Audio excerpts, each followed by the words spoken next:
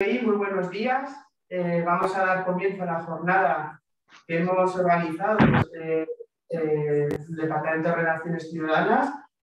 Eh, veo que se están conectando las personas, los espectadores. Actualmente tenemos unas 30 personas. hay una inscripción de 60 personas, pero bueno, en cualquier lugar no os preocupéis porque se va a grabar, se está grabando la jornada y luego podemos distribuirla. Voy a ceder la palabra a la consejera de Relaciones Ciudadanas, Ana Hoyo, que es la, responsable del departamento y quien va a hacer eh, el discurso de apertura y la, bienvenida a las personas de hoy antes de la jornada. Ana. Según buenos días y muchas gracias Sergio y gracias a todas las personas que hoy os encontráis aquí. Gaur bildu gaituen jardunaldi gobernu honek Europako errealitatea herritarrek hobeto ezagutu dezaten eta Europar batasuneko gaietan herritarren implikazioa eta parte hartzea bultzatzeko duen interesaren ondorioa da. Europaren aldeko apustua inoiz baino beharrezkoagoa da, gure gizarteak bizi dituen garaia zaietan COVID-19 osasun krisia dela eta. Decía que la jornada que nos reúne hoy aquí obedece al interés que este Gobierno tiene por promover un mayor conocimiento ciudadano de la realidad europea y por favorecer su implicación y participación en los asuntos de la Unión. La apuesta por Europa es más necesaria que nunca en los difíciles tiempos que nuestra sociedad está atravesando debido a la crisis sanitaria, económica y social de la COVID-19. Por ello, el Departamento de Relaciones Ciudadanas, a través de la Dirección General de Acción Exterior, nos empeñamos en nuestro quehacer diario en que esta conexión entre instituciones y ciudadanía no quede solo en un discurso teórico, sino que constituya una realidad práctica. Queremos una sociedad implicada en las cuestiones europeas y una ciudadanía informada de los mecanismos y engranajes de funcionamiento de la Unión, porque ambos aspectos constituyen sin duda las claves del fortalecimiento de nuestra democracia. Todas las iniciativas suman y no son sino parte de la tarea global del Gobierno que tiene su reflejo en el Plan de Acción Exterior que tuve ocasión de presentar en el Parlamento la pasada semana y que busca, entre otros eh, objetivos, reforzar nuestra posición en Europa y en el resto del mundo. Se trata de un plan que refrenda la apuesta iniciada la pasada legislatura con la reapertura de la oficina de Navarra Bruselas, el regreso a la participación de manera activa en el Comité Europeo de las Regiones y la entrada en la Euroregión junto a Nueva Aquitania y la Comunidad Autónoma Vasca. Estos primeros pasos por reubicar a la comunidad foral en el campo internacional se han intensificado en esta legislatura con la creación de la nueva Dirección General de Acción Exterior que va más allá de atender los asuntos europeos para reforzar también la cooperación transfronteriza, la relación con la ciudadanía navarra en el exterior y la promoción de la imagen de Navarra. Se encuentra hoy con nosotros la directora de la Oficina de Proyectos Europeos del Gobierno de Navarra, Carmen Mier, oficina creada el pasado año para facilitar la presentación y promoción de proyectos europeos de administración, acompañando, monitorizando y asesorando a los distintos departamentos para su participación en el marco financiero plurianual 21-27. En sintonía con este planteamiento, disponemos también de la ventanilla Europe Direct, fruto del esfuerzo por poner a disposición de personas y agentes interesados canales comunicativos útiles, cercanos y accesibles. Desde la misma estamos tratando de acercar Europa a Navarra y a su ciudadanía para conseguir un mayor sentimiento europeísta entre la población y es por ello que el pasado año decidimos convocar por primera vez en Navarra la línea de ayudas a la difusión de políticas europeas destinadas a empresas y asociaciones. En 2021, esta línea nos ayudaron, eh, empresas y asociaciones a difundir políticas europeas. Luego conoceremos la experiencia de una de ellas, la del Consejo Navarro del Movimiento Europeo, con la intervención de la doctora de la Universidad Pública Navarra, Patricia Plaza, a quien agradezco su participación, así como a otras personas beneficiarias de la pasada edición. También tendremos oportunidad de escuchar al portavoz navarro de la Asociación Juvenil Europeísta Equipo Europa, con la que ya venimos colaborando desde el año 2019 a través de encuentros. El Año Europeo de la Juventud es este año un año muy especial para el Gobierno de Navarra. Ya tuvimos ocasión de trasladárselo al director general de Acción Exterior, Sergio Pérez, a la coordinadora de Juventud de la Unión Europea, Viliana Sirakova, cuando se reunió con ella el pasado año en Bruselas y a quien hemos invitado a visitar Navarra y a que nos acompañe en nuestra gira por localidades navarras que comenzará en marzo con la denominación Hablemos de Europa. Quiero también recordar que este año hace el 35 aniversario del programa Erasmus, probablemente el programa que más ha hecho por reforzar, por consolidar esa ciudadanía europeísta entre los jóvenes. También la pasada semana tuvimos ocasión de trasladar a la Comisión Europea las acciones que desde el Gobierno de Navarra hemos realizado para fomentar el debate europeo en Navarra, ya que Europa es mucho más que financiación. Europa es también la compra conjunta de vacunas, es la defensa de los derechos humanos, es la diversidad y la pluralidad.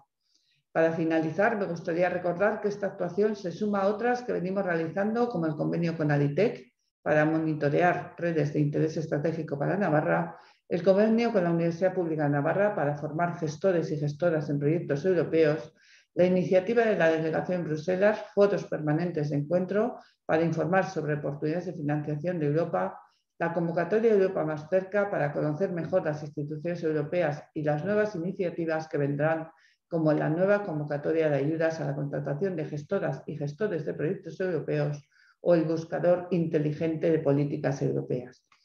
Todas ellas se suman a las ayudas de las que vamos a hablar hoy y que tratan de fomentar la organización de foros públicos para un debate abierto, inclusivo, transparente y estructurado sobre las cuestiones europeas que afectan a la vida cotidiana de la ciudadanía y así acercar más Europa a la sociedad navarra.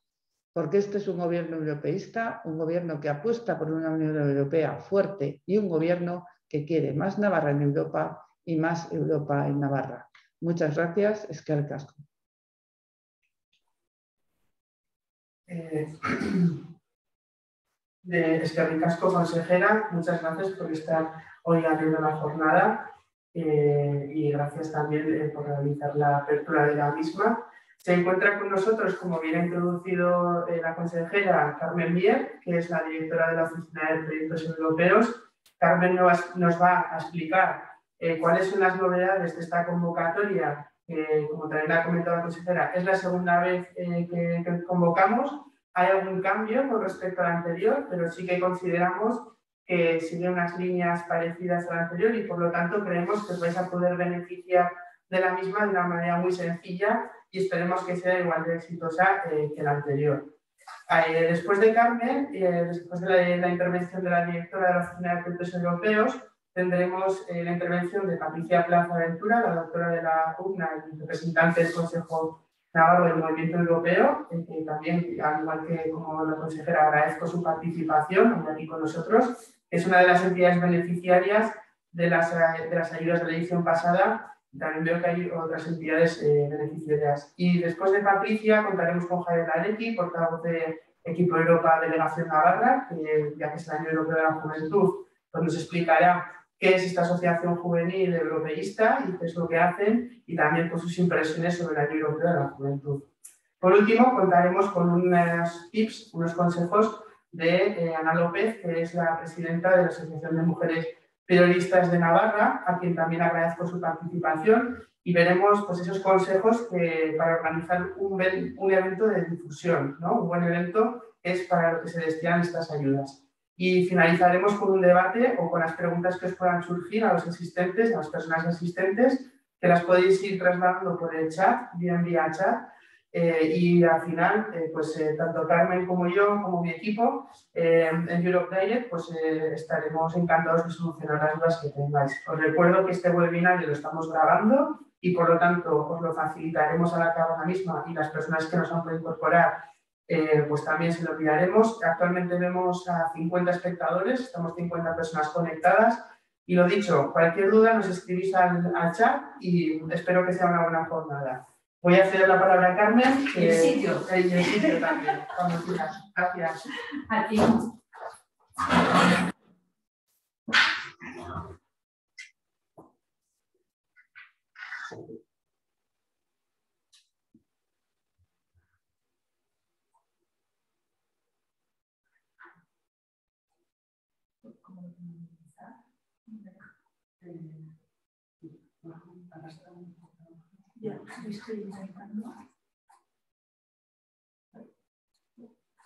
Disculpad que se me está resistiendo el compartir. A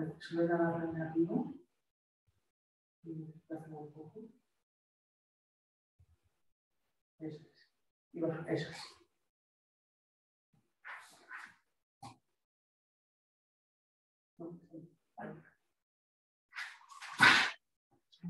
Perdón, ¿eh? Ahora. Y ahora, ¿veis la pantalla? ¿Sí? Vale, perfecto. Bueno, pues muchísimas gracias, eh, consejera, y muchas gracias, Sergio, por, la presentación.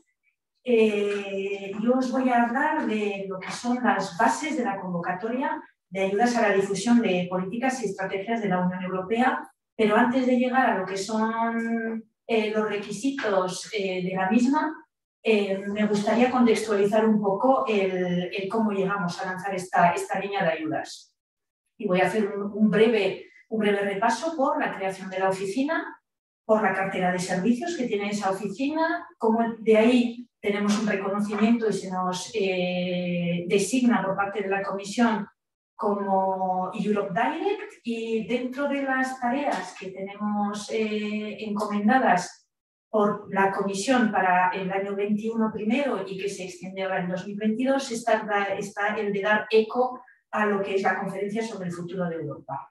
Eh, eso es lo que nos sirve de contexto y pretexto para lanzar el año pasado una primera edición de ayudas a la difusión de políticas, estrategias o temáticas eh, prioritarias en, Europa y, contribuir de esta forma desde Navarra, no solo nosotros desde la Europe sino contando con otro tipo de entidades como vosotros, algunos de los que estáis hoy conectados eh, ya fuisteis beneficiarios, pues a hacerse eco y hacer más entendible eh, y más cercano a la ciudadanía todos los mensajes o lo que acontece en las instituciones europeas. Dicho esto, la Oficina de Proyectos Europeos es, eh, la, se crea en enero del 2021, es decir, hace un año. Es una apuesta estratégica del Gobierno para dar a sus distintos departamentos o permitir a los distintos departamentos del mismo que se internacionalicen a través de su participación en proyectos o con una presencia activa en redes y lobbies europeos de interés. También es eh, obtener fondos adicionales, o sea, captar una financiación extra mediante la concurrencia competitiva de las convocatorias y programas a los que, a los que aspira eh, que es uno de los retos del plan Reactivar Navarra, plan aprobado en 2020, en agosto del 2020 para esta, legislatura. Y también porque la oficina quiere ayudar a los departamentos a que estos busquen el alineamiento de las políticas regionales que se están implementando o diseñando con las grandes tendencias y las eh, estrategias y políticas prioritarias de la Unión Europea. Esta es la cartera de servicios de la Oficina de Proyectos Europeos. Como veis, tenemos actividades de información, de posicionamiento y entrada en redes o lobbies y grupos de interés. O sea, hay que estar en los sitios importantes para acceder con carácter Mm, prioritario a una serie de informaciones, tener mayor visibilidad, porque si uno se mueve y hace presentaciones, eh, se convierte en un referente y un socio apetecible. Hacemos también actividades de sensibilización y formación. Mm, mucha de la actividad está en este inicio de periodo de, programación 21-27 relacionado con el lanzamiento de los programas, como pueden ser Horizonte Europa, el programa LIFE, el Europa Creativa, que todo esto ahora mismo nos está bombardeando un poco. Eh, las actividades de mapeo y asesoramiento y apoyo en la elaboración de dosieres de candidaturas son eh, la actividad principal de la, oficina. Eh, nuestro público, como os he dicho, es el Gobierno de Navarra, los distintos departamentos departamentos que van solos o van con sus sociedades adscritas para hacer un, refuerzo y un despliegue de mayor actividad.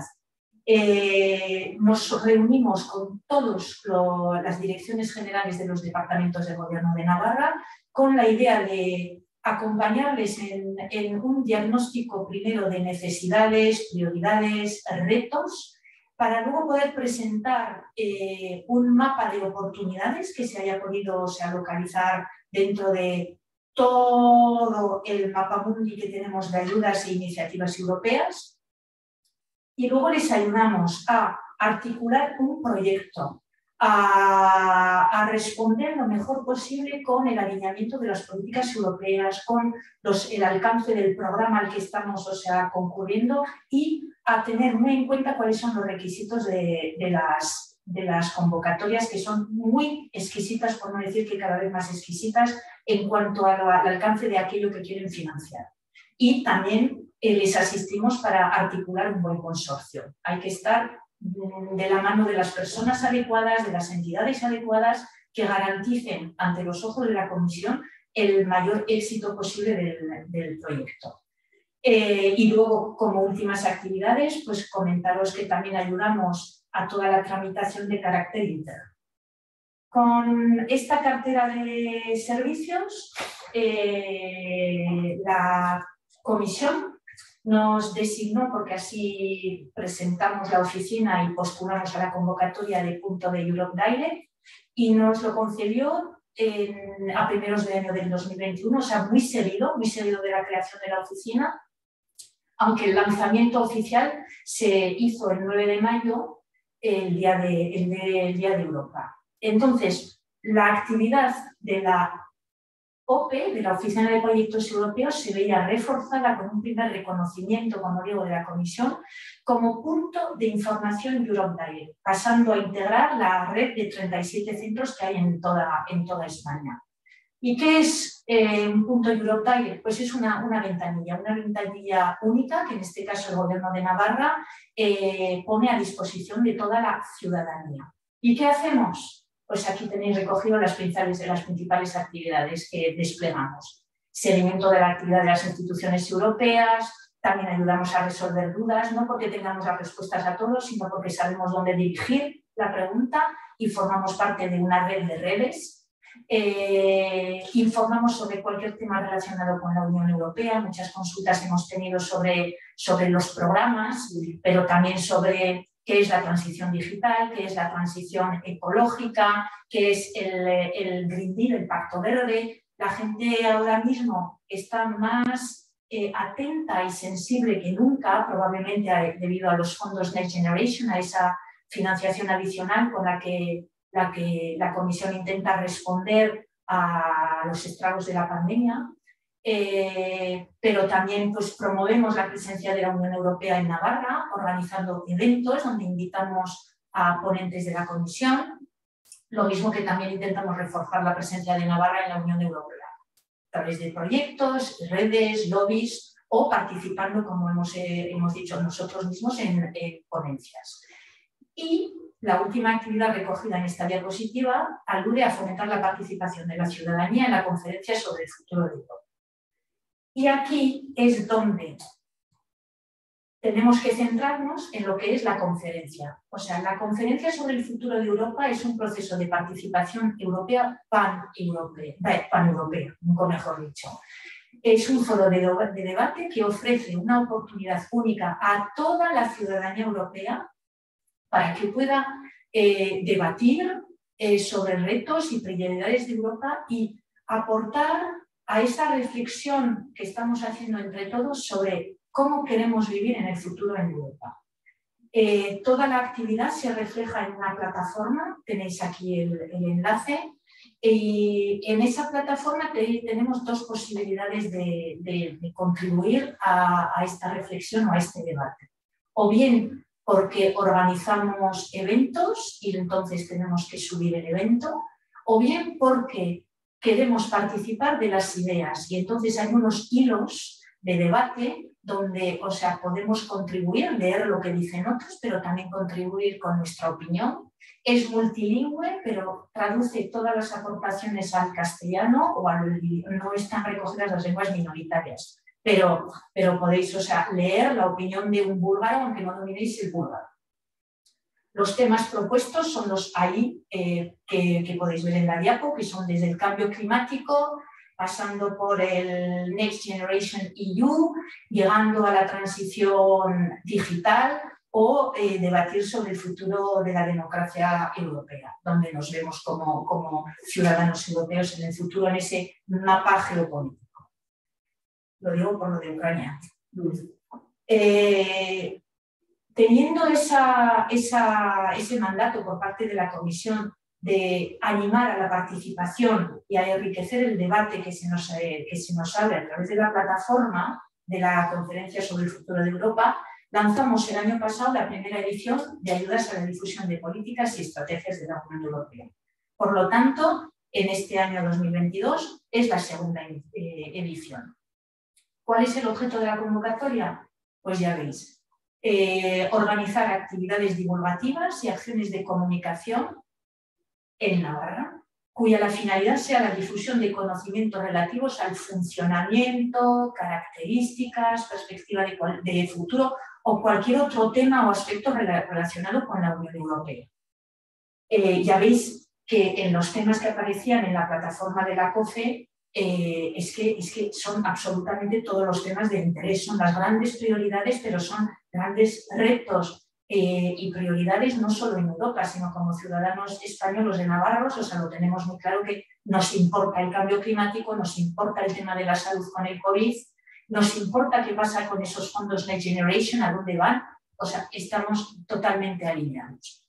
La financiación es de 50.000 euros, está dividido en dos partidas, es el crédito total, pero hay 25.000 euros dirigidos a empresas, 25.000 euros eh, destinados a entidades sin ánimo de lucro.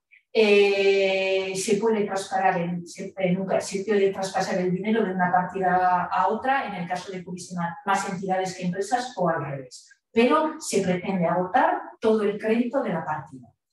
Los conceptos están subvencionados al 100% y ¿qué es lo que, lo que subvencionamos? Pues servicios técnicos y profesionales necesarios para la realización de seminarios, por ejemplo, grabación, alquiler de una sede, eh, si queréis contar con un dinamizador profesional, eh, pero también puede ser un estudio, eh, puede ser una publicación, es decir, todo lo que esté relacionado con la actividad que vosotros estáis planteando en el marco de esta línea de ayudas.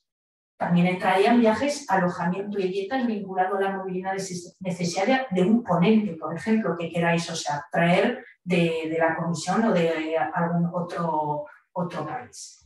Eh, no son subvencionables los días, los gastos relacionados con el día a día de, la empresa o de la, entidad, ni los sueldos, por supuesto.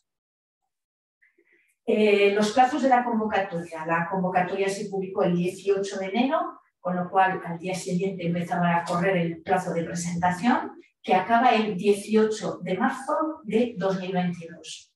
Eh, se subvencionarán o son elegidos los gastos en los que se incurra entre el 1 de enero, es decir, tiene efecto retroactivo, hasta el 28 de octubre de este año.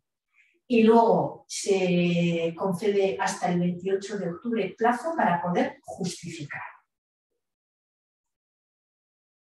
La presentación de solicitudes no es difícil, no es difícil, no es un formulario complicado ni se os piden cosas muy sofisticadas. Eh, se pide primero la documentación relativa a la entidad que solicita la ayuda. Hay un formulario de solicitud que es, un descargable y luego tenéis que aportar escritura de constitución de la empresa o de estatutos de la entidad y una declaración responsable de representación de la entidad. Esto en formato libre, lo que tengáis, o sea, es escanear y subir el PDF. En cuanto a la documentación relativa a la actividad, tenéis que hacer una descripción de la actividad que pretendéis realizar. Es un curso, es un seminario, son una serie de microvídeos para luego difundir en redes, o sea, definir qué es lo que vais a hacer. Eh, tenéis también que ponernos a quién va dirigido, cuál es vuestro público objetivo. Eh, y luego tenéis que intentar explicar dónde lo enmarcáis dentro de, dentro de las políticas europeas que, hemos mencionado que se reflejaban en la plataforma. Eh, luego, experiencia previa del solicitante, si, si, tenéis experiencia en este tipo de eventos o si tenéis experiencia dentro de lo que es el marco europeo, porque habéis participado en proyectos o porque habéis organizado otras sesiones informativas. Y luego un presupuesto estimado con un desglose de gasto. Es presupuesto para conceder la ayuda. No hace falta que sea exacto, ni se os va a penalizar a la hora de, justificar si eh, no habéis gastado en viajes, pero sí en grabación cuando igual, ¿no? O sea, tiene que estar prevista la actividad, pero se, puede reajustar la ayuda perfectamente. Eh, antes de finalizar, una foto de lo que ocurrió en la edición anterior, donde fueron beneficiarios, beneficiarias dos empresas y cinco entidades sin ánimo de lucro. Se concedió el total del crédito, que en el año pasado la partida ascendía a 30.000 euros y como veis hemos apostado fuerte este año con 50.000 porque tenemos demanda y creemos que hay espacio para, para poder eh, financiar más actividades y más entidades. Y para que os hagáis una idea, mm, pinceladas de lo que se abordó el, el año pasado, pues eh, la UE y los adolescentes, que esto fue una serie de microvídeos como un poco Europa for Dummies, eh, con la idea de que luego estos circularan por, por las redes sociales, eh, pero también se abordó el tema de los fondos Next Generation y del plan de recuperación y resiliencia, que es el, el España puede y cómo se traslada esto a la realidad navarra. También hubo unas sesiones de debate sobre las relaciones Estados Unidos-China y el sándwich en el que estaba metido la Unión Europea, una reflexión muy interesante sobre los equilibrios que habría que mantener en el futuro. Y por último, pues eh, lo que es la iniciativa Nueva Bauhaus Europea, que es toda esa reflexión sobre cómo queremos vivir en el futuro. Eh, esta es una infografía donde se vuelven a recoger las fechas relevantes para todos aquellos que quieran optar a nuestra línea de ayuda. Aquí están nuestros datos de contacto y nuestras redes sociales. Y dicho esto, pues nada, daros las gracias por la atención. Voy a ir un poco rápido. No, no pasa nada. Luego así tenemos más tiempo para... Para debatir, eso, perfecto. Eh, muchísimas gracias, Carmen. Eh, gracias por, por haber sido tan clara en la, en la explicación y, también por presentar eh, las actividades que llevamos a cabo. Sí. Estamos.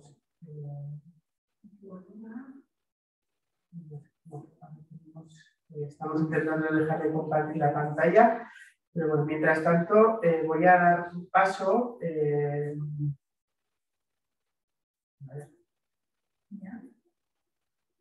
a eh, Patricia, Patricia Plaza Ventura, que es doctora por la UCNA y es la representante del Consejo Navarro del Movimiento Europeo. Patricia, bueno, el Consejo como institución fue una de las entidades beneficiarias el año pasado de esta ayuda y a la cual pues agradecemos eh, de nuevo su participación. Lo que nos gustaría, o lo que nos va a trasladar Patricia, la doctora Plaza, es eh, bueno, cómo fue su experiencia a la hora de participar, pero también qué es el Consejo Navarro del Movimiento Europeo, que muchos conoceréis al CONAVE, el Consejo Movimiento Europeo, y cuáles son sus posiciones o qué es lo que están haciendo en relación con la Conferencia del Futuro de Europa. Entonces, eh, Patricia, cuando quieras, eh, tienes eh, roles de panelista, así que adelante, te, damos la palabra. Buenos días a todos los presentes. Gracias a los organizadores, a la consejera de Relaciones Ciudadanas, Ana Hoyo, al director general de Acción Exterior, Sergio Pérez, y a la directora de proyectos, Carmen Mier, por la celebración del presente evento eh, bueno, formativo, muy formativo de cara a la solicitud de estas, de estas ayudas y eh, que por tanto considero de mucha utilidad. Gracias también, por supuesto, por contar con nosotros, con el Consejo Navarro del Movimiento Europeo, en la presentación de esta jornada pues, para explicar esta nueva convocatoria, la segunda edición, ¿eh? esta convocatoria de ayudas a empresas y entidades sin ánimo de lucro para la difusión de las políticas y estrategias de la Unión Europea. Mi intervención eh, se va a centrar en dos aspectos. En primer lugar, voy a presentar qué es el Consejo Navarro de Movimiento Europeo, CONAME, y qué es lo que hacemos. Y en segundo lugar, bueno, pues voy a contar un poquitín pues, nuestra experiencia del año pasado como beneficiarios de una subvención del programa de ayudas en su primera edición. Un segundito porque eh, tengo que quitar aquí el sonido del teléfono, que si no nos va a molestar. Bien, el Consejo Navarro del Movimiento Europeo, CONAME, como se nos conoce también, eh, se refundó en diciembre de 2018. Nosotros somos la sección autonómica navarra del Consejo Federal Español del Movimiento Europeo. Este Consejo Federal Español es una asociación que opera en territorio español, que se constituyó en París en 1949 y este Consejo Federal Español, a su vez, se integra bajo el paraguas del Movimiento Europeo Internacional que fue fundado a raíz del Congreso de la Haya de 1948, ¿eh? en mayo de 1948. Todo este entramado de asociaciones tiene un único objetivo fundamental, que es constituir una Unión Europea desde una perspectiva federal. Nosotros somos una asociación sin ánimo de lucro, independiente y plural. Está integrada por un grupo de personas heterogéneo que procedemos de sectores profesionales, académicos y culturales muy diversos. Los socios tenemos inquietudes, ideologías y edades también de lo más variado, pero nos une nuestra querencia y nuestro respeto por la Unión Europea. Querencia y respeto por la Unión, sabedores de que el proyecto comunitario, ideado por Schuman y Monet, ha creado un espacio único de paz, de seguridad y de prosperidad desconocido fuera de nuestras fronteras y del que disfrutamos las personas que residimos en los Estados miembros. Creemos y trabajamos en pos de una Europa unida, fundada en los valores de respeto de la dignidad humana, de la libertad, la democracia y el respeto del Estado de Derecho. Una unión que es una realidad y a la vez es un proyecto, todavía en construcción, inacabado una unión que no está exenta de problemas. Pensemos en la grave crisis económica que venimos arrastrando desde hace muchos años, el conflicto migratorio, el Brexit, los populismos, los nacionalismos, el terrorismo, la pandemia, en fin, dificultades que para los europeístas curtidos en numerosas crisis han sido y son un impulso federador ¿eh? de cara a esa integración europea. Desde el Consejo Navarro del Movimiento Europeo venimos ofreciendo eh, diversas actividades que tienen como objetivo acercar la realidad política, económica, jurídica, cultural y social a la ciudadanía. De entre ellas, el seminario Hablemos de Europa, con una conferencia mensual, pretende presentar temas de actualidad e interés relacionados con la Unión Europea. Queremos humanizar a la Unión Europea, explicar sus políticas, sus problemas, sus instituciones, quién hace qué, por qué y para qué. Otra actividad importante del Consejo Navarro del Movimiento Europeo son las reuniones anuales que nuestro Consejo lleva a cabo junto con el Consejo Federal eh, Español en Roncesvalles. Así, a finales de agosto de 2020 se celebró el segundo Consejo Asesor Autonómico del Consejo Federal Español del Movimiento Europeo y a su término se adoptó la Declaración de Roncesvalles. Quedó confirmado la notable importancia ¿eh? que tiene Roncesvalles en el origen histórico del ideal europeísta, Pensamos que Roncesvalles es un lugar representativo para el movimiento europeo. El pasado mes de octubre de 2021, el Consejo Federal Español celebró nuevamente en Roncesvalles un segundo encuentro sobre educación y cultura en la conferencia sobre el futuro de Europa, acto que fue preparado conjuntamente con el Consejo Navarro. Hemos organizado también dos ediciones de cursos de verano en Roncesvalles. En septiembre de 2020 sobre los itinerarios culturales europeos y en septiembre del pasado, 2021, sobre las estrategias de la Unión Europea encaminadas a alcanzar los objetivos de desarrollo sostenible, concretamente en los ámbitos de la agricultura, la energía, la educación y el patrimonio rural. Ambas ediciones de cursos de verano fueron financiadas por la Universidad Pública de Navarra.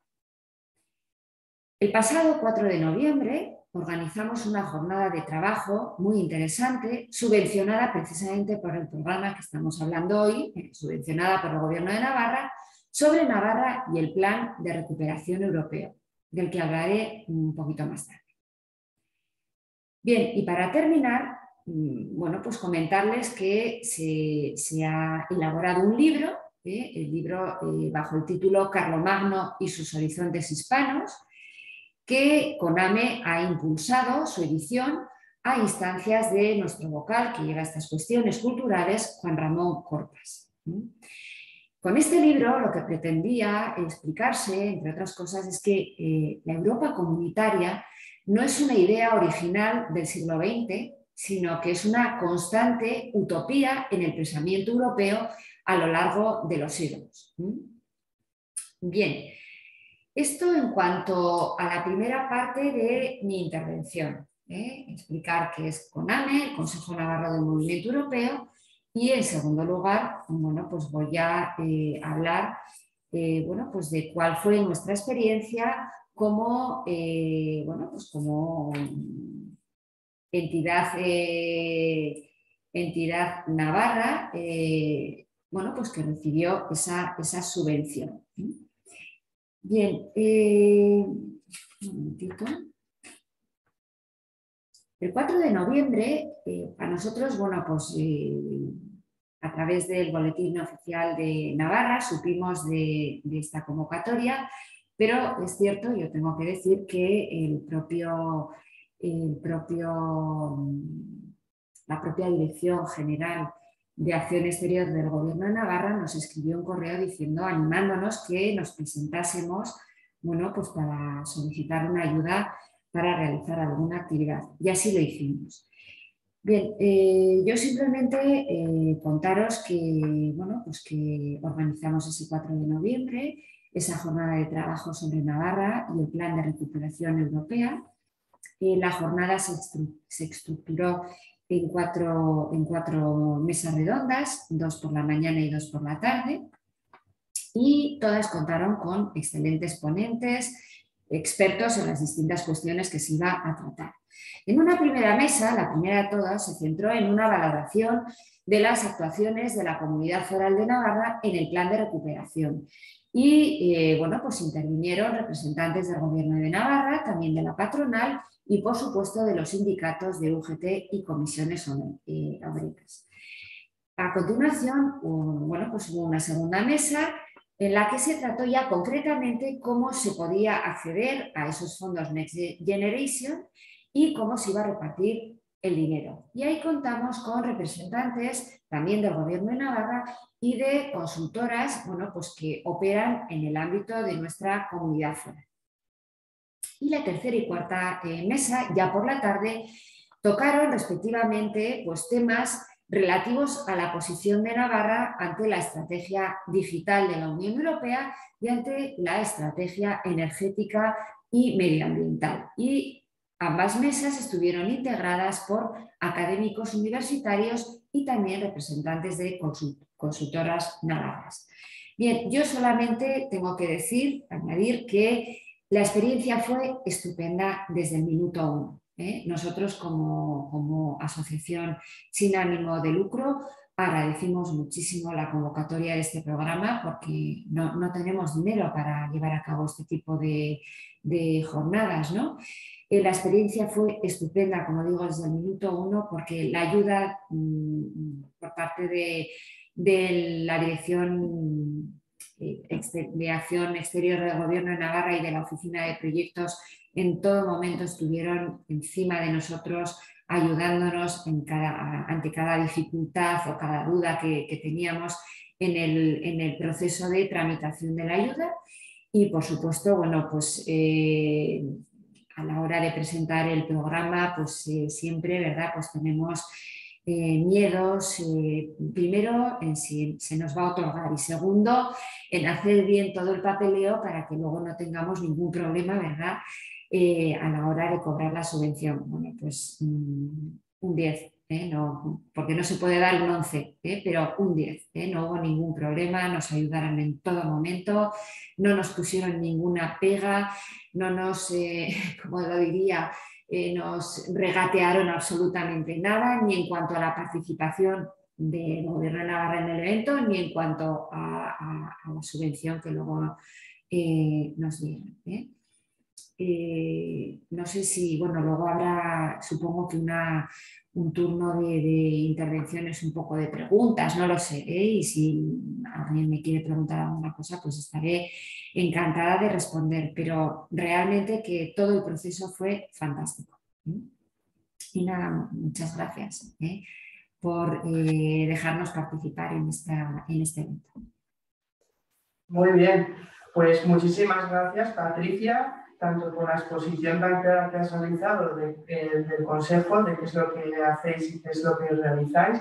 También es un orgullo para Navarra pues, que, se, que se celebre en Roncesvalles, ¿no? o sea, que se celebre aquí en casa pues, la, la reunión anual y por lo tanto como navarros pues, no nos podemos sentir más orgullosos de todo el trabajo que realizáis y de, y de, todo, eh, y de toda la actividad. Así que enhorabuena también por nuestra parte a vosotros y también es muy agradable estar comentando antes con Carmen, pues escuchar tus amables palabras sobre el procedimiento de, concesión de, la ayuda y, bueno, y ojalá si queréis, si os encaja, pues os presentéis también este año y, y a ver si entre todos y todas las que estamos aquí podemos hablar cada vez más de Europa en Navarra eh, pues, pues, porque ahora nos toca ser más europeístas que nunca, ¿no? Ya vemos, como ha comentado antes Carmen, Ucrania, Rusia, qué está pasando, Brexit, bueno, ya hemos comentado anteriormente, pero como dices, tenemos luego un, tiempo de debate, al final un tiempo de preguntas, entonces las, las, dejamos para el final y les recuerdo también a las personas asistentes que pueden ir haciendo sus preguntas por el chat si tienen alguna.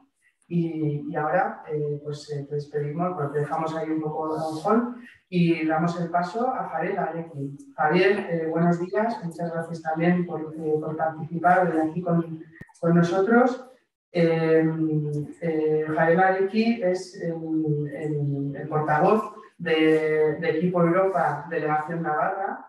Equipo Europa es una asociación juvenil europeísta. Bueno, no, no voy a adelantaros mucho más porque va a ser Javier el que nos explique quiénes son, qué hacen, cómo se constituyen, eh, cuáles son sus actividades y además especialmente relevante su participación hoy por encontrarnos ya inmersos en el Año Europeo de la Juventud, ¿no? Año Europeo 2022, que es el que la presidenta von der Leyen pues, eh, pues marcó como el objetivo de la participación juvenil eh, pues más destacada en la Conferencia del Futuro Europa, pero no solo en la Conferencia del Futuro Europa, sino también en todos los procesos institucionales en los que cada vez tenemos que hacer eh, evitar que se produzca esa desafección entre las personas jóvenes y las instituciones y es eh, muchas veces complicado de conseguir porque no hablamos un lenguaje las instituciones digamos muy cercano, muy llano, ¿no? Eh, ya hemos comentado la burocracia, pero bueno, en nuestro papel, en la dirección general, lo que hacemos día a día es intentar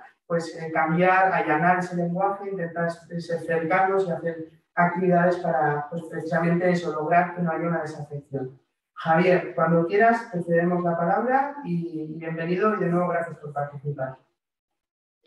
Hola, buenos días. Eh, supongo que me oís. En primer lugar, eh, muchas gracias al Gobierno de Navarra, a la consejera de Relaciones Ciudadanas, Ana Hoyo, y en particular a Acción Exterior, a Sergio, Carmen y también todos y todas las que están eh, con vosotros eh, trabajando y muchas gracias por organizar este evento y por contar con nosotros, ¿no? Además, especialmente relevante eh, en esta semana en la que se han convocado las ayudas y por tanto muy oportuno, ¿no? Y bueno, muchas gracias por invitarnos y de esta manera contar voz de, de la juventud en un encuentro de, este tipo. Además, es un lujo hablar entre Patricia Plaza, una referencia aquí en Navarra en Derecho Internacional Público, que además es muy querida por socios y socias de, nuestra delegación que han sido alumnos eh, suyos, y también por, por, Ana López, de quien ya aprendí mucho el año pasado en una de las últimas asignaturas de, la carrera. Creo que, en estos 10 eh, minutos mi intervención en este evento tiene que tratar dos temas fundamentales, que es Equipo Europa y también qué valoración hacemos del Año Europeo de la Juventud. Eh, bueno, Equipo Europa, básicamente, para, lo que, para los que no nos conozcáis eh, todavía, es una asociación europeísta juvenil, ¿no? como comentaba Sergio, formada por socios y socias de entre 14 y 30 años, que bueno, defiende Equipo Europa básicamente cuatro cuestiones, ¿no? El europeísmo, ¿no? que se basa en esas cuestiones ¿no? que también ha desarrollado eh, Patricia, ¿no? Eh, la, de, la defensa de, la participación de los jóvenes en la política y en particular en los asuntos europeos, el apartidismo eh, político, es decir, no nos vinculamos con ningún partido político, y en cuarto lugar, el ecologismo y la defensa también de la sostenibilidad ambiental. ¿no? Por tanto, lo que nos define en definitiva no es otra cosa sino los valores de la propia Unión Europea. Y somos en total 2.500 eh, socias y socios por toda España, de los que 60 estamos en Navarra. Nacimos a nivel eh, nacional en 2019, ¿no? en el contexto de las elecciones europeas para promover la participación en ese momento, ¿no? que además eh, se consiguió a través de, la campaña del Parlamento Europeo aumentar mucho la participación y en particular la participación juvenil en prácticamente todos los países de la Unión Europea y en Navarra tenemos actividad desde septiembre de, 2020. Empezamos eh, siete personas y hoy somos 60 y luego el próximo mes de febrero volvemos a abrir de nuevo inscripciones, así que esperamos ser muchos más. ¿no? ¿Y qué hemos hecho en Navarra? Bueno, hemos iniciado las dos campañas estrellas de Estrella de Equipo Europa, ¿no? que son un árbol por Europa para, promover que los ayuntamientos se comprometan con la defensa del medio ambiente, con la plantación de árboles bueno, en muchos municipios, eh, Navarra como bueno, por ejemplo Lite, Estella, Peralta, Sartaguda, Artajona, Burlada, Barañain, Esteriba, Racunza, muchos más. En total, por toda España se han plantado más de 36.000 árboles el año pasado. Y luego Europa en el aula, que básicamente supone promover la Unión Europea, el conocimiento de la Unión Europea en los institutos y en los centros educativos en general. Y bueno, hemos acudido, por ejemplo, ahí es eh, padre, eh, bueno, a padres reparadoras, reparadores de Puente la Reina, allí es Plaza de la Cruz de, Pamplona o, por ejemplo, al Liceo Monjardín también de Pamplona. ¿no? Incluso nos hemos desplazado a Aragón eh, también para dar, dar charlas. Eh, en ese sentido, también estamos ahora mismo, por ejemplo, promoviendo un manifiesto para que se incorpore al currículum educativo una natura optativa sobre la Unión Europea, ¿no? que, por ejemplo, ya existen algunas comunidades autónomas como pueden ser Madrid, Cantabria o Extremadura a partir del curso que viene, pero que, por ejemplo, en Navarra eh, al menos por lo que sabemos, todavía no existe. ¿no? El año pasado celebramos el Día de Europa con una serie de conferencias eh, en el CIBOX de Iturrama, que también contamos con la colaboración de Acción Exterior, y también hemos, hemos empezado a participar en las cuestiones del Consejo de la Juventud de, de Navarra, participando en su Asamblea General. En octubre asistimos al European Youth Event en Estrasburgo, y una de nuestras propuestas fue la más votada por los miles de jóvenes que asistieron allí en relación con la sostenibilidad medioambiental. Y esta y, nuestras otras 100 propuestas que hemos colgado en la conferencia sobre el futuro y que por tanto son públicas desde allí, eh, están también en, nuestra web.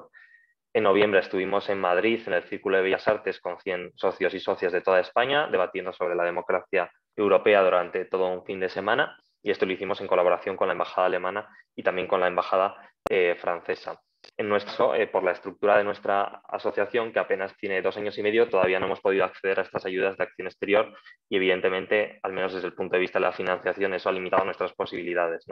Sin embargo, habéis visto, eh, eso no nos ha parado y seguimos trabajando para cuanto antes poder reunir esos requisitos legales que evidentemente los tenemos que discutir y tenemos que cerrarlo desde la perspectiva de nuestra sociedad a nivel nacional. Y en segundo lugar, en cuanto al Año Europeo de la Juventud, eh, bueno, es decir que este año aspiramos a más. ¿no? De hecho, nuestro lema, eh, Equipo Europa es una juventud que aspira más especialmente porque se trata del Año Europeo de la Juventud y como, y como consecuencia esperamos a partir de todos los debates posibles hacer más eventos en distintos lugares de Navarra, seguir construyendo tejido asociativo, que es muy importante para, motivar a los socios y a las socias y consolidarnos en definitiva, ¿no? tras este, eh, el comienzo en el curso pasado. ¿no? A la espera de los eventos que la Comisión Europea y las instituciones en general decidan hacer en, España y en Europa a lo largo de este año, que esperamos que, sean eh, bueno, muchos, eh, y bueno, de hecho ya se ha lanzado una página web sobre el Año Europeo de la Juventud, donde, bueno, progresivamente se están empezando a colgar diferentes eventos que se van a hacer en diferentes lugares, ¿no? Al menos estos son los promovidos por la Comisión Europea. Nosotros y nosotros ya tenemos previstos, previstas diferentes actividades para, para, los siguientes meses, ¿no? En primer lugar, bueno, en febrero vamos a celebrar una, un evento eh, que va a reunir a, en torno a 50 eh, socios y socias de toda España en Navarra eh, para, con el objetivo de sentar las bases de lo que queremos para este año europeo de la juventud y donde vamos a mezclar eventos públicos como por ejemplo la plantación de un árbol europeo en Pamplona que, la tenemos pendiente a la que, bueno, por otro lado estáis todos y, todas invitados y también otros eventos con, con un carácter más privado. ¿no? En segundo lugar, también tenemos previsto celebrar el Día de Europa, Todavía no tenemos muy claro de qué manera este año, pero si eh, cada vez detectamos un interés mayor de escuelas embajadoras del Parlamento Europeo, las que tienen este programa tan, tan interesante de, para conocer la Unión Europea en los colegios, bueno, celebrarlo con ellas y ver de qué manera ¿no? podemos establecer eh, sinergias. ¿no? Y eso es lo que, bueno, eh, yo creo que gustaría de cara a este Día de Europa. Y finalmente, y de alguna manera, eh, que esto todavía no lo habíamos hecho eh, público hasta ahora y bueno, un poco con, el visto bueno para decir, eh, hemos, hemos forjado una alianza con, el diario Navarra para colaborar en la organización de los cursos europeos de verano que se celebran desde hace años en, a finales de agosto, ¿no? en lo que nos vamos a implicar absolutamente y lo que también este año va a estar incorporado a la perspectiva juvenil. ¿no? Precisamente eh, queremos resaltar colaboración como una buena estrategia para incorporar a los jóvenes a eventos que a veces pueden parecer destinados a personas, a un público eh, más mayor, pero que también nos interesan a nosotros y a nosotras. ¿no? Y en ese sentido, bueno, agradecer aquí públicamente también las gracias al, dar las gracias al Diario Navarra ¿no? por querer forjar esta alianza con Equipo Europa. Y también, bueno, eh, igualmente este debate es, es, es, un buen ejemplo ¿no? de incorporación de la juventud debates sobre políticas públicas y a los eventos que se pueden hacer con ellas específicamente, ¿no? También destinados a, jóvenes, a los jóvenes y a, los jóvenes. Y, a todo eso a nivel nacional le vamos a unir eh, un poco lo que contaba hasta ahora, es eh, lo que tenemos pensado hacer en, Navarra, ¿no? que bueno, es bastante. Y a nivel nacional, bueno, también otras delegaciones, lógicamente, están trabajando en otros eventos, ¿no? Por ejemplo, nuestros compañeros de Euskadi están trabajando en, en una asamblea europea en, Bilbao para, jóvenes de, todo el continente. Eh, pero bueno, es ya más cuestión de, están llevando ellos sobre todo la organización, ¿no? Y esperamos a ver que, pueda salir de eso algo muy, muy interesante, ¿no? Y sobre todo reunir a diferentes jóvenes de, distintos países aquí, aquí muy cerquita, ¿no?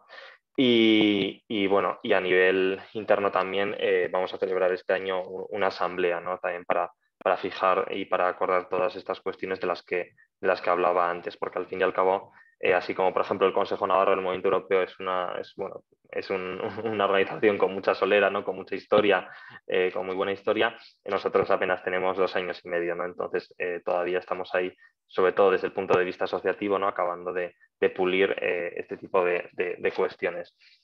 En cualquier caso, eh, bueno, esto es un poco lo que, lo que os queríamos eh, contar, ¿no? Presentar algo que es Equipo Europa, que hemos hecho hasta ahora, que tenemos previsto hacer, pero eh, nos ponemos a disposición pues del Consejo Navarro del Movimiento Europeo, con el que compartimos las ideas y, los principios, ¿no? que además han sido muy bien expuestos, y también a disposición de, la, Asociación de Periodistas Mujeres de Navarra, que va a venir después de Ana, puesto que nosotros también estamos comprometidos con la campaña donde están ellas del Parlamento Europeo para, incorporar a las mujeres en todos los eventos y que haya eh, paridad en, cuanto al número, a las personas que intervengan. Y bueno, eso es un poco lo que, lo que os queríamos eh, contar. tenemos muchas expectativas para el Año Europeo de la Juventud. eh, hemos trabajado en la conferencia sobre el futuro de Europa. Nos parece que ha sido una iniciativa muy interesante que todavía no está acabada. Y animamos a todo el mundo a participar, ya que en concreto España, a pesar de ser uno de los países que más propuestas ha presentado, sin embargo, si dividimos por número de habitantes, no nos encontramos entre las mejores posiciones. ¿no? Entonces, animamos a todo el mundo a participar en la conferencia sobre el futuro de Europa. Eh, nosotros lo hemos hecho y lo seguimos haciendo. Todavía tenemos pendientes propuestas para subir que estamos afilando estas semanas. Y, también a implicarse en el año europeo de, la juventud. Y, nosotros tenemos expectativas para este año europeo de la juventud. Estamos todavía esperando a ver qué propone en concreto la Comisión, el Parlamento eh, Europeo para, para, este año.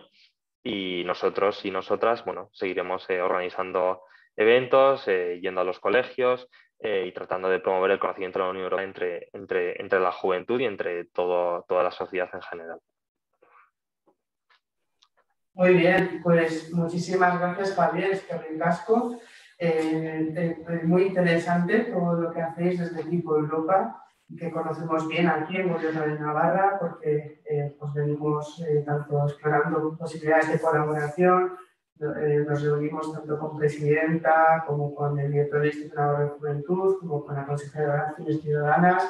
Así que estoy muy contento, pues eso, tanto de que participes eh, tú en este caso, pero bueno, el equipo Europa en general, porque lo componéis bastantes personas y todas las personas que sí están activas en, en ese campo. Es una alegría escuchar que también estéis, estéis en colaboración con, con, el Diario Navarra para los cursos europeos de verano, que también fueron una institución beneficiaria de las ayudas de esta convocatoria el año pasado y con quienes también desde el gobierno pues tenemos un, contacto muy estrecho y, bueno, pues que apostamos y fomentamos porque se, se produzca ese debate, además con componentes de, de, tan alto nivel que tanto Pablo Zalma como el comisario de los cursos eh, pues seguiremos participando desde el gobierno. Eh, me gustaría comentaros también con respecto al año europeo de la juventud, el primer viaje que hice a Bruselas cuando me nombraron director general, la primera reunión que tuve fue con Viviana Sirakova, que es la eh, coordinadora de juventud eh, a nivel de la Unión Europea. Ya en su día, en julio, estuvimos debatiendo, pues bueno, conocía País Vasco, conocía La Rioja, pero no conocía Navarra. Entonces sí que sería una buena ocasión para, bueno, pues para ver si quiere conocer esta tierra. Si, eh, la invitación ya está lanzada desde noviembre eh, de cara al año europeo de la juventud. Pero bueno, es, eh, es, un año que va a ser muy intenso, que la Comisión va a proponer varias actuaciones. A ver si conseguimos entre todos y todas que pueda visitarnos y poder hacer algún, algún evento con ella también. Y con respecto a la COFE, pues como bien dices, eh, la participación se ha publicado recientemente el tercer informe intermedio de, eh, de participación en la plataforma online. Y, y bueno, pues, eh, pues, en cierta medida esos resultados de participación, pues estas ayudas lo que pretenden, o uno del análisis interno que hicimos nosotros también, fue fomentar que se participase. Y de hecho en esta convocatoria una de las novedades que ha comentado antes la, la directora Carmen es que aquellos eventos que organicéis o que se organicen en Navarra eh, y que tengamos conocimiento desde Direct, o sea, lo que se contempla en estas convocatorias es que nos comuniquéis a Direct estos eventos para poder ayudaros a subirlos a la plataforma y así incrementar el número de participaciones navarras y españolas en, lo que es eh, en esto online. Y, bueno, pues eh, haremos también dentro de Gobierno de Navarra, el Europeo de la Juventud, la gira esta que también ha contado la consejera, que sabremos de Europa. Esta gira que iremos con un camión a 10 localidades navarras, porque queremos que se escuche. Ya vimos ese informe, varios que estamos pendientes eh, al día de leerlos todos, y pues bueno, nos preocupa la infrarrepresentación de la mujer en la participación de, la conferencia y también las zonas rurales. Entonces, con esta gira, como gobierno, lo que pretendemos es acercarnos a las zonas rurales para también eh, promover el debate de este perfil para que, para que 10 localidades navarras puedan hacerlo. Por último, antes de dar paso a la siguiente ponente, a Ana López, que no lo va a hacer en presencial, sino nos ha mandado un, un, un vídeo porque le ha sido imposible estar con nosotros. Tanto a los espectadores que nos están viendo ahora, las personas que están viéndonos ahora, como a los que nos vean en el futuro, eh, me gustaría trasladaros que desde la Dirección General de Acción Exterior estamos coordinando todos los eventos que se estén realizando o que se prevean realizar en el Día de Europa, el 9 de mayo, eh, o en esa semana, en la Semana de Europa. Ya tenemos previsto un encuentro con, bueno, ya tenemos previstos varios encuentros, eh, tanto organizados por la Dirección General de Exterior, con el Departamento de Relaciones Ciudadanas, como con otros departamentos y con Presidencia. Las universidades también nos han trasladado en unos eventos que quieren realizar, empresas. Eh, por lo tanto, os animo a las asociaciones y a las empresas y a las personas participantes de este webinario o los que nos dan en el futuro que, pongáis en nuestro conocimiento eso para intentar coordinar una mejor eh, participación entre todos, que lo que perseguimos es en definitiva que se hable en Navarra de Europa y promover los valores europeístas. Por lo tanto, cuanto mayor conocimiento tengamos y más coordinados estemos, creo que podemos dar una mejor imagen de cara a Europa y de cara a España de lo que hacemos en Navarra. Este es, eh, bueno, lo último que os quería indicar, que eso, de cada día 9 de mayo nos informáis si, queréis, y eh, todo lo que podamos apoyar desde el gobierno y colaborar, pues, eh, pues lo haremos, porque desde Acción Exterior estamos poniendo todos los eventos que ya venimos con las universidades, con empresas, con diferentes departamentos haciendo. Ahora voy a, eh, voy a proyectar, si la tecnología me lo permite y todo funciona bien, a Ana López. sí, a ver. ¿Dónde quito el Sí de encaje, vale. Ahora voy a compartir la pantalla del sonido. Entonces, eh, estoy compartiendo, voy a reproducir y si veo que, no, que los eh, compañeros nos escuchan, pues ya me avisarán. Hola, buenos días. Egunon, Gustioi. Lo primero de todo, quería dar las gracias eh, en nombre de la Asociación de Mujeres Periodistas Navarras por la oportunidad que, nos brindáis, que nos estáis brindando desde el Departamento de Relaciones Ciudadanas a través de la Dirección General de Acción Exterior de Gobierno de Navarra y de la Oficina de Proyectos Europeos, ¿no? para estar aquí esta mañana y aportar eh, nuestro granito de arena compartiendo eh, nuestra experiencia, básicamente. ¿no? Cuando contactasteis con nosotras, eh, nos propusisteis que contáramos cuáles son las claves para organizar un buen evento de difusión y ojalá tuviéramos esas claves, ¿no? Todo sería mucho más sencillo.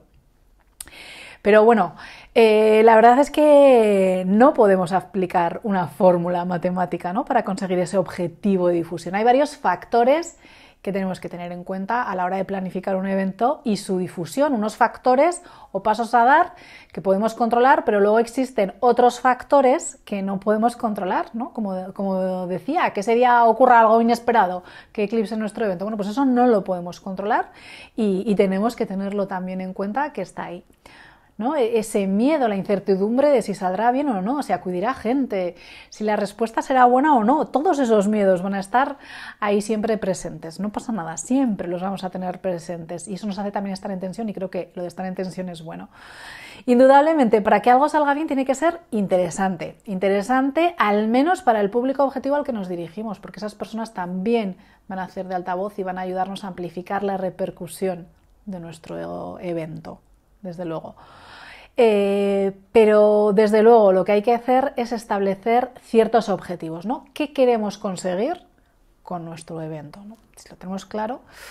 Por ejemplo, con las acciones que hemos ido poniendo en marcha desde la Asociación de Mujeres Periodistas eh, de Navarra, donde no solo estamos mujeres periodistas, sino que somos comunicadoras en un sentido más amplio, somos fotógrafas, ilustradoras, relaciones públicas, publicistas bueno, pues como decía, ¿no? con, esas acciones que a lo largo de los últimos meses hemos puesto en marcha, eh, queríamos ofrecer formaciones que considerábamos interesantes para nuestra profesión. Además, también eh, nuestra apuesta es la de la comunicación con perspectiva de género, porque creíamos, porque creemos que es necesario ¿no? para construir una sociedad igualitaria eh, tener esa mirada desde la perspectiva de género en la comunicación. Estos eran un poco los objetivos que nos planteamos cuando, cuando nos dimos a conocer, que lo hicimos a través de unas formaciones eh, en formato charla-taller. Eh, y es importante que esos objetivos eh, sean medibles. Mm, para nosotras, eh, el número de personas apuntadas era un indicador importante. Con el tema de aforos, además, el hecho de tener personas en lista de espera era otro de los indicadores para medir ese éxito que podíamos tener, o el ver con qué rapidez se cubrían esas plazas que ofertábamos. ¿no? Cuando hicimos nuestra primera formación eh, nos lanzamos un poco al vacío, para nosotras eran unas formaciones muy interesantes, pero no estábamos seguras de que hubiese más compañeras que compartieran esa visión, porque nosotras fuimos unas poquitas las que impulsamos la asociación y luego bueno, pues ha ido creciendo. No sabíamos la acogida que, que iba a tener, que iban a tener estas formaciones. ¿no? Elegir la fecha también es importante. No solo el día, ¿eh? también la hora es importante. Imaginaos una cena de gala, un desayuno informativo, ¿no? Pues en nuestro caso, lo de elegir el día y la hora para eventos en los que queremos contar con mujeres periodistas, mujeres comunicadoras, igual es más complicado porque siempre va a haber algunas a las que no lleguemos eh, por las peculiaridades de nuestra profesión, ¿no? Pues como nuestros horarios no son los mismos que en una empresa, ¿no? También trabajamos fines de semana, trabajamos en festivos, hay turnos que acaban muy tarde, otros que comienzan muy pronto, ¿no? Nosotras somos conscientes de que vamos a tener que ir cambiando de días, de horas, en función de a quiénes queramos llegar o de que queremos llegar a todas eh, nosotras y bueno, pues lo, tendremos en cuenta. Eh, también el tipo de, evento condiciona las horas los días, ¿no? Eh, lo de las horas, lo que decía, cena de gala, de noche. Es importante también tener claro a quiénes nos dirigimos, nuestro público objetivo. Teniendo claro a qué personas nos dirigimos y qué es lo que queremos conseguir, pienso que el resto de acciones pueden ser un poquito más fáciles de pautar. ¿no? Eh, también me parece importante para tener en cuenta el presupuesto. El dinero siempre manda, eso ya lo sabemos. ¿no? Eh, para ello, pues es interesante saber con cuánta financiación se cuenta ¿no? y realizar un pequeño estudio de las necesidades o de los gastos que va a tener ese evento ¿no? y que pueden ir desde el pago a los ponentes, si es que hay charlas, ¿no? unas ponencias, ¿no? pues pagar a esas personas, eh, o el transporte y el alojamiento en caso de, necesitarlo de, esas personas, o el alquiler del local, eh, o pagar a un restaurante o, un catering, ¿no? si vamos a servir un aperitivo, pues eso, eso, es que eso hay que tenerlo claro y pautado, ¿no? Y con el presupuesto pues ya en la mano, también sabemos a qué espacios podemos optar en función de las necesidades, ¿no? Y en caso de que el evento no sea online exclusivamente, que siendo online pues es, más fácil. Sabemos que podemos organizar eventos presenciales y eventos híbridos, aparte de online, ¿no? Pero híbrido o presencial hay que elegir un lugar, ¿no? Importante para la elección del lugar es la ubicación, que sea accesible, eh, el lugar del evento también influye eh, en el éxito. Eh, en el caso de Pamplona tenemos suerte de contar con una ciudad con un tamaño muy cómodo, al no existir grandes distancias, con un buen transporte público, con parkings en el centro de la ciudad y con diferentes espacios a los que poder optar ¿no? para la organización de, de esos eventos. ¿no? En función del presupuesto que tengamos, volvemos al dinero. Como veis, el presupuesto siempre nos marca, pero como decía, en función de ese presupuesto existen múltiples opciones también para la publicidad de ese evento, ¿no? para publicitarlo. Se pueden incluir eh, cuñas en radio, ¿no? anuncios en radio, en televisión, en prensa. También podemos publicitar nuestro evento a través de las redes sociales, pagando un poquito. La publicidad en redes sociales es más barata, pero bueno, eh, también podemos enviar una nota de prensa a medios de comunicación. Eso sí, siempre hay que tener en cuenta que aunque enviemos la nota de prensa, no nos aseguramos de que los medios la publiquen, ¿no? Pero cuanto más interesante sea el contenido de esa nota, eh, creo que hay más posibilidades de que se publique. También podemos plantearnos convocar a los medios ese mismo día del evento, ¿no? Podría ser antes del evento para que eh, tomen unas imágenes y quizás unas declaraciones de los organizadores, eh, de, los ponentes, ¿no? Y eh, desde luego no olvidemos las redes sociales de la propia entidad que, organiza porque son un altavoz importante de, difusión. Pero sin duda la buena planificación previa al evento es la clave, yo creo, para, para, el éxito, ¿no? Más o menos del evento. Tener todo organizado, organización, planificación, ¿no? Eh, y yo creo que a partir de aquí, pues eh, lo único que queda es invertir tiempo, trabajo y esfuerzo, mucho, mucho esfuerzo, porque detrás de cada evento, no perdamos la perspectiva, por pequeño que sea, hay mucho trabajo y eh, mucho esfuerzo. Yo creo que tenemos tiempo, ¿no? Todavía, ¿verdad? Para, para que veáis un pequeño vídeo, quería mostraros un pequeño vídeo con el resumen de las actividades que hemos lanzado estos últimos meses, eventos en los que hay mucho trabajo, eventos en los que hemos pensado en la necesidad de las comunicadoras y de los comunicadores de Navarra, porque nosotras queremos una sociedad igualitaria con hombres y mujeres, ¿no? Y eventos en los que hemos puesto mucho cariño. Eh, creo que son eventos que han tenido un eh, relativo éxito tanto de participación como de, difusión eh, dentro de, nuestro público objetivo, ¿no? ese que decía yo, del mundo de la comunicación. Y han sido meses con mucho trabajo, mucho esfuerzo y creo que ha merecido la pena. Me apetecía compartir un poquito con vosotros, si os parece, este resumen es un, vídeo muy cortito para que veáis la, actividad desde que empezamos en el primer trimestre de, 2021 ya ha empezado el, primer trimestre hasta, hasta final de este año 2021 que hemos terminado ahora.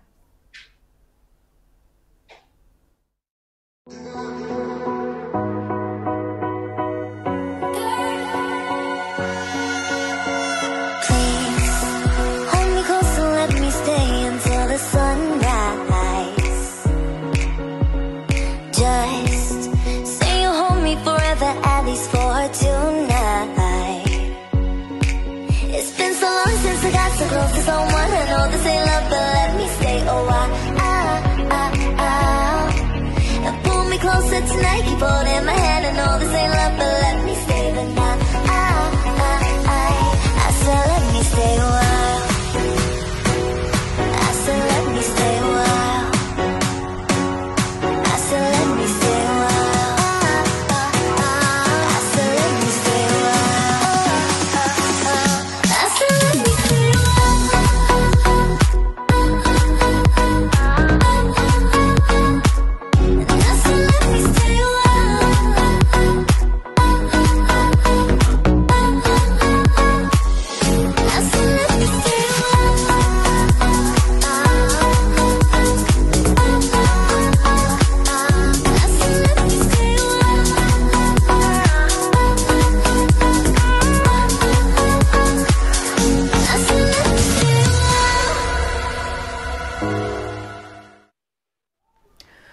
pues este era el resumen de las actividades que hemos organizado eh, en este primer año de andadura de la Asociación de Mujeres Periodistas Navarras, eh, donde hemos ido tomando nota de lo que hemos hecho eh, mejor y de lo que hemos hecho peor, ¿no? Para ir aprendiendo, porque esa es otra yo creo que de las cosas que hay que tener en cuenta, ¿no? Pues tomar nota de, qué se hace, cómo se hace para aplicarlo y tener éxito en, el siguiente evento que vayamos a organizar. Nosotras ahora mismo estamos un poco de eh, para reflexión después de, este montón de actividades que hemos organizado para eh, continuar a lo largo de este año con, más actividades con éxito, espero, ¿no? aprendiendo de lo que eh, hemos hecho. Y, la verdad es que eh, entrar en el detalle ¿no? de, cómo hacer nos llevaría muchísimo más de los 10-15 minutos que tenemos asignados esta mañana, ¿no? Pero quién sabe, este tema igual es interesante para tratar en alguna de las futuras formaciones que organicemos desde la Asociación de Mujeres Periodistas Navarras, unas formaciones que están abiertas a hombres, eh, mujeres interesados en estos temas mm, del mundo de la comunicación principalmente, pero bueno, pues eh, también eh, abiertos a más personas interesadas en el mundo de la comunicación con una perspectiva de género. Y sin más, no robo más tiempo. Mil gracias por contar con nosotras para estar hoy aquí. Mil esker. Nos vemos.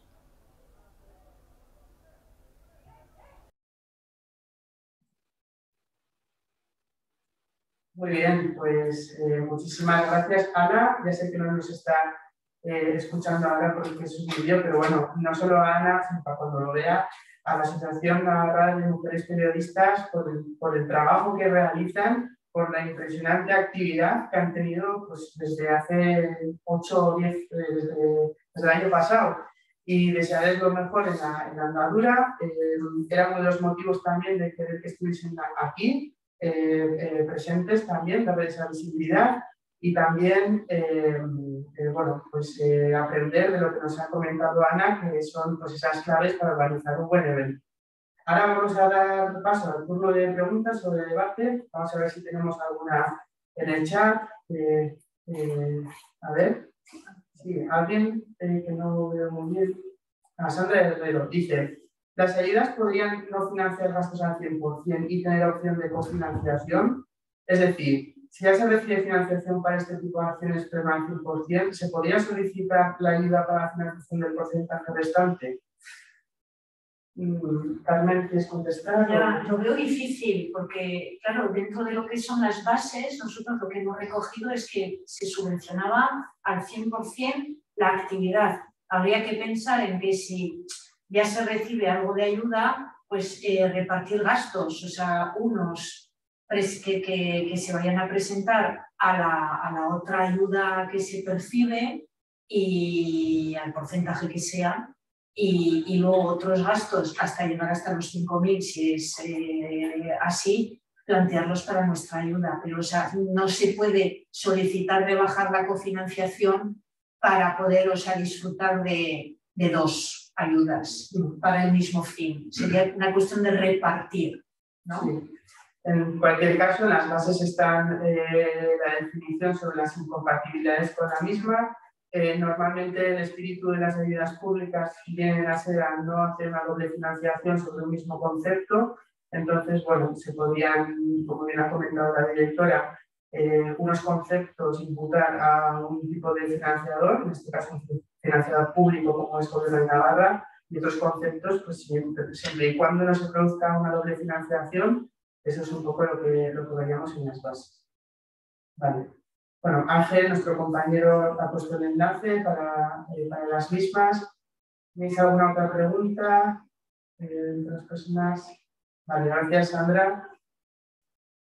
Eh, si no hay preguntas, yo igual que voy a animarme y a tanto a Javier como a Patricia pues a hacerles una pregunta o, bueno, una reflexión. Antes hablaba sobre la desafección que se produce en especial en los jóvenes, en las personas jóvenes, sobre las instituciones, pero también, en pero no solo en los jóvenes. Es decir, sí que hay una desafección más particularizada, pero en realidad las instituciones, los organismos eh, gubernamentales eh, con la ciudadanía, pues se produce una desafección que tenemos que, o por lo menos lo que nos toca a nosotros, tenemos que trabajar para que no se produzca. ¿no?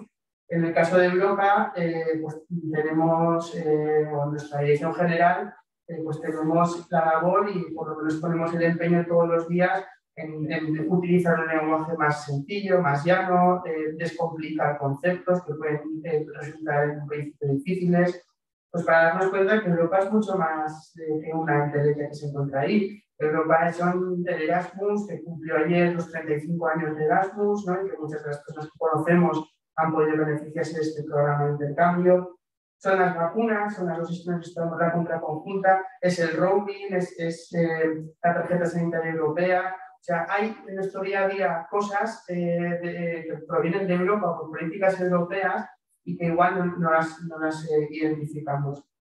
La pregunta tanto para Patricia como para Javier es, ¿cómo consideráis vosotros o vosotras que es una buena idea o una buena técnica para las instituciones?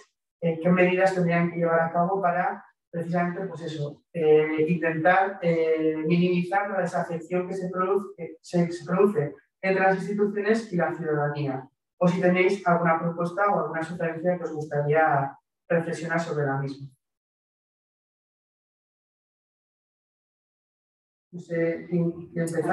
Bueno, yo mismo, a ver, que efectivamente es tremendo. Eh, qué lejano queda para la ciudadanía las instituciones de la Unión Europea, ¿verdad? Yo les digo a mis alumnos cuando, por ejemplo, son las elecciones al Parlamento Europeo, les digo, voten, vayan, a votar, que el 80%, por no decir un porcentaje mayor, de las eh, normas que se aplican en nuestro país proceden del Parlamento Europeo y llegan de Bruselas, con lo cual eh, les interesa, a todos nos interesa mucho votar la ideología que nos gusta, ¿no? Porque luego las normas que se nos van a aplicar en el día de cada día son, nos llegan de Bruselas. Y a pesar de eso, cuando uno observa el porcentaje de participación, por ejemplo, en las elecciones, es bajísimo.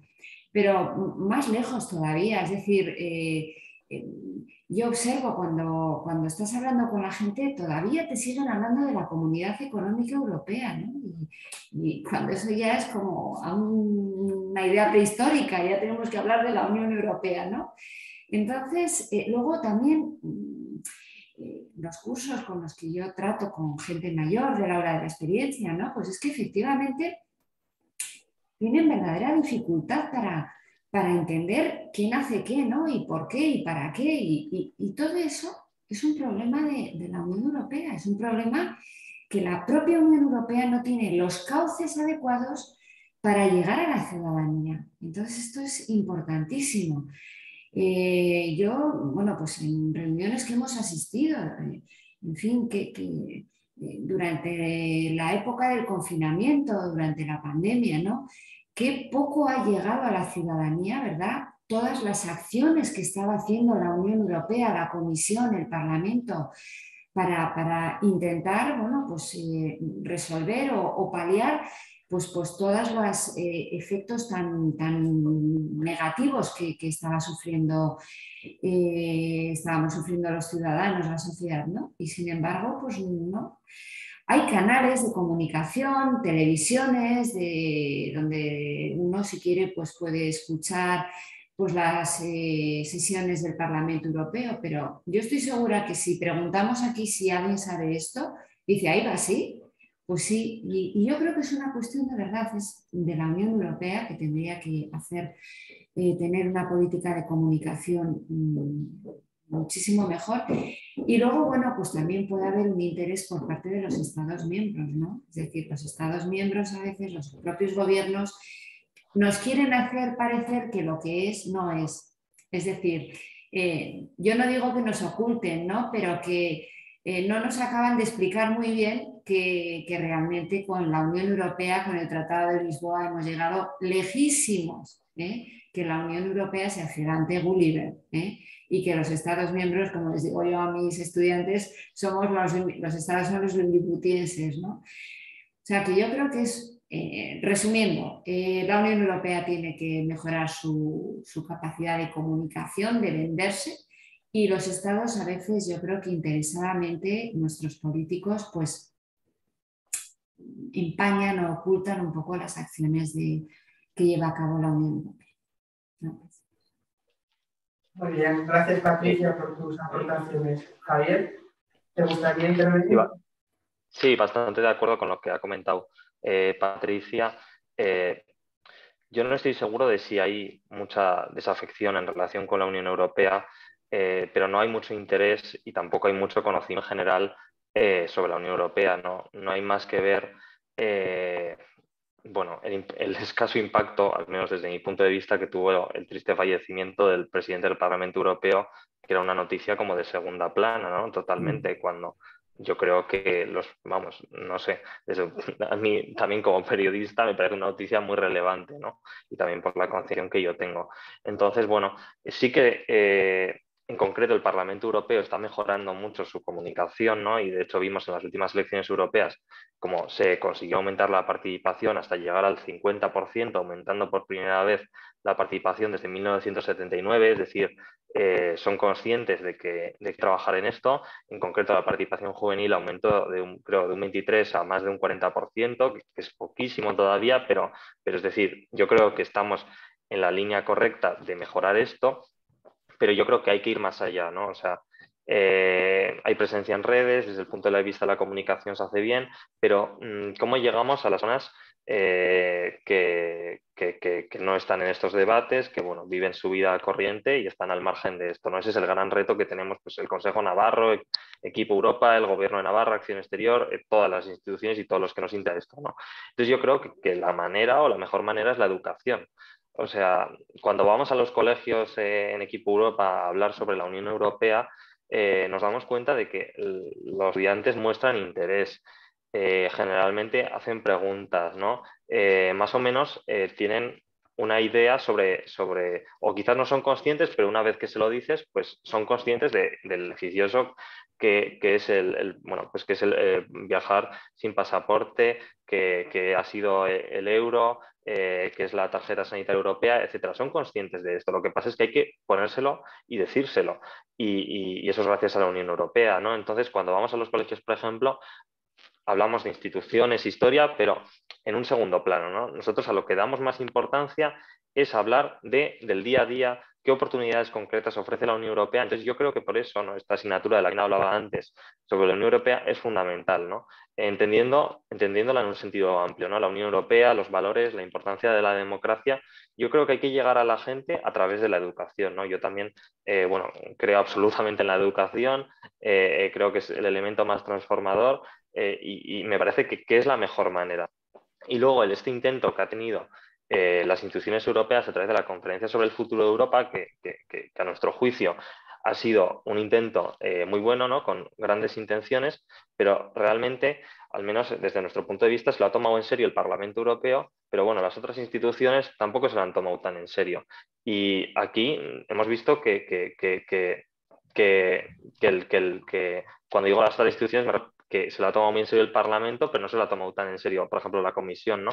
Y, y, vemos que, también cuesta que, por ejemplo, llegue este debate a los parlamentos nacionales. ¿no? Entonces, eh, ¿cómo conseguimos que, el debate, eh, además de llegar a los mismos, ¿no? porque hemos visto que con la conferencia el debate eh, ha llegado a los mismos, pero con otro formato. ¿no? Entonces, el gran reto de todos ¿no?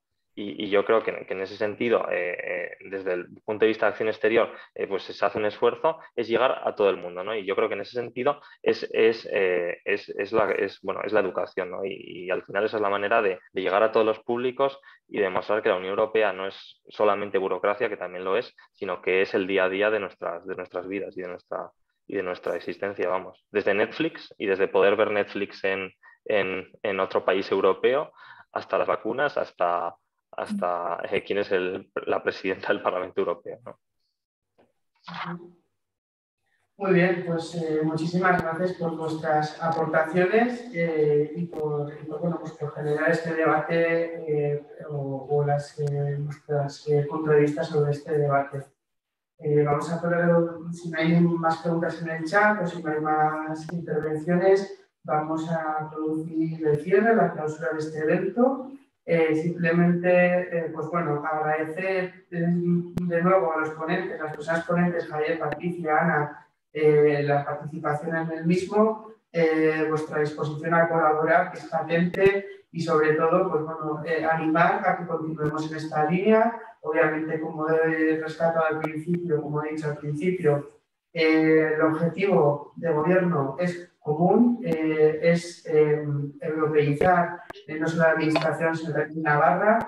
Creo que es muy importante en estos momentos en los que nos encontramos, como he dicho, con Ucrania y Rusia, este conflicto ahora mismo que estamos experimentando y que, y que, bueno, llevar Europa a la ciudadanía navarra es algo crucial para que Navarra, bueno, y a toda la ciudadanía, pues para, para poder darnos cuenta de qué importante es tomar estas decisiones, cómo se toman y este sentimiento pro-europeísta o europeo que tenemos que fomentarlo. ¿no? Eh, agradeceros vuestra participación y eso, animaros a, continuar colaborando en esta, en esta, línea que llevamos y, ahí, bueno, y daros las gracias por estar aquí con nosotros.